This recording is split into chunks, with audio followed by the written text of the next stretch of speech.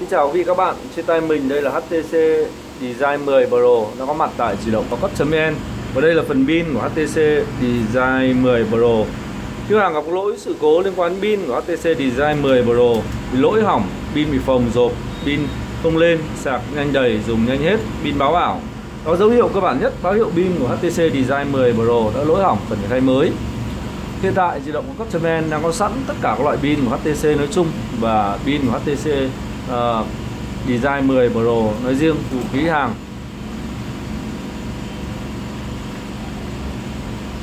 Đó, do cái thiết kế body liền khối như này do đó khi cần thay pin HTC Design 10 quý hàng nên mang máy qua các địa chỉ của di động cao cấp.vn chúng tôi đã thay mới pin của HTC uh, ờ,